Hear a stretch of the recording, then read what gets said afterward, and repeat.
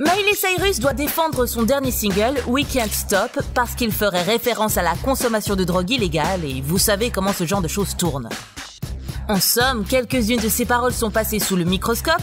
La chanteuse parle notamment de danser avec Molly, qui est un autre nom pour l'ecstasy. Son porte-parole affirme qu'elle dit en fait Miley et non pas Molly. Quand on a questionné son représentant à propos des paroles Essayez de se faire une ligne dans la salle de bain, il aurait refusé de discuter de la référence possible à la cocaïne. Alors la crise a été évitée, n'est-ce pas? À peu près. Beaucoup de fans utilisent Twitter pour incendier l'ancienne star d'Anna Montana, mais ne vous inquiétez pas pour Molly, euh, Miley. Sa chanson a atteint la première place sur iTunes quelques heures après sa sortie. Weekend Stop devrait être inclus sur son nouvel album.